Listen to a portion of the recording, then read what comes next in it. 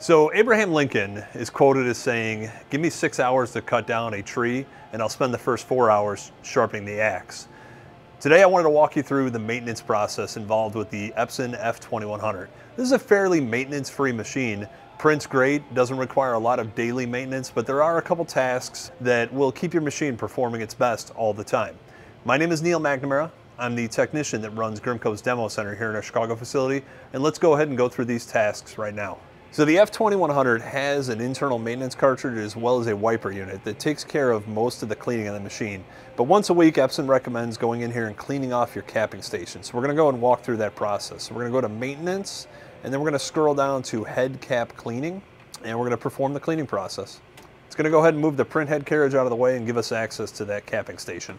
And so now we're going to use the provided swabs as well as the cleaning fluid to get down in here and really clean off the capping station. So we're getting good suction when the print head is capped as well as allowing it to flow ink through those print heads and go through its automatic cleaning process. You can see my machine's pretty dirty. That's why I turned the camera on today to film this whole process.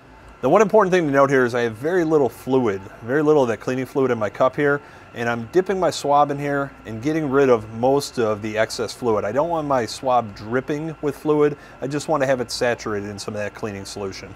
All right, so I spent a lot of time under there and got the cap station nice and clean. The next step I want to do is cleaning the print head itself. So again, we're going to go into that maintenance menu, and then we're going to go down to clean around the head. Um, and this is a task you may not do every month, but definitely one that could be done periodically to just, if nothing else, to inspect around your printhead carriage to make sure it's nice and clean.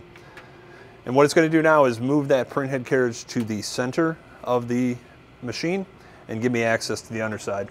And so now here, all I'm going to do is clean the overspray around my print head. I don't want to go anywhere near the actual print nozzles themselves. I'm just cleaning off any excess oversprayed ink that might have accumulated around my print heads.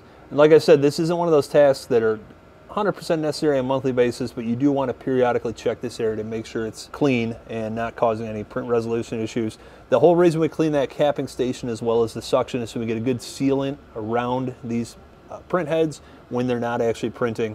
Everything's looking really good.